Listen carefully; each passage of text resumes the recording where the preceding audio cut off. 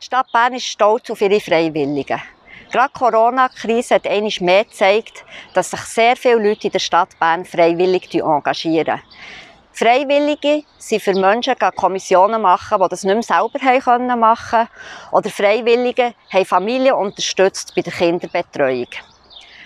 Mir ist aber wieder bewusst worden, wie viele Leute Hemmungen haben, für sich selber Unterstützung anzufordern. Aber ich glaube, wer den Mut hatte, das zu machen, ist doppelt belohnt worden. Zum einen hat er die Hilfe bekommen, die er gebraucht hat, aber zum anderen hat es auch neue Beziehungen unter Menschen gegeben. Und ich hoffe natürlich, dass der ein oder andere Kontakt, der entstanden ist, auch über die Corona-Krise hinweg bestehen bleibt. Denn was macht die Stadt Bern aus? Das sind doch die vielen Beziehungen von Menschen untereinander. Das ist das Charakteristikum der Stadt Bern. Das ist das, was Bern lebens- und liebenswert macht.